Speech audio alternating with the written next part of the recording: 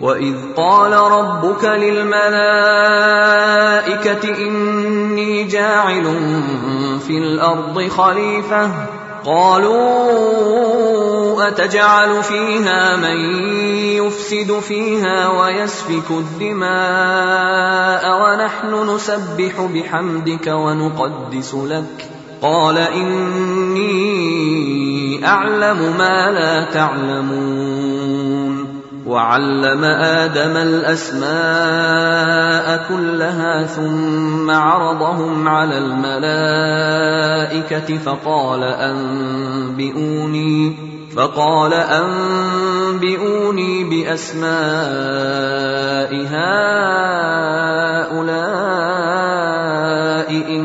كنتم صادقين.